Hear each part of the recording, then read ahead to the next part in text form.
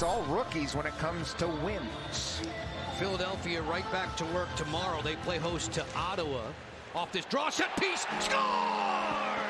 Alex Ovechkin.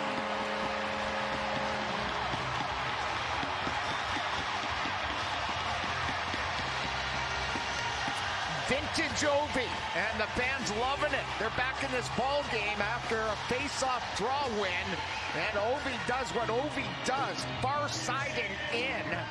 Another goalie he has victimized now.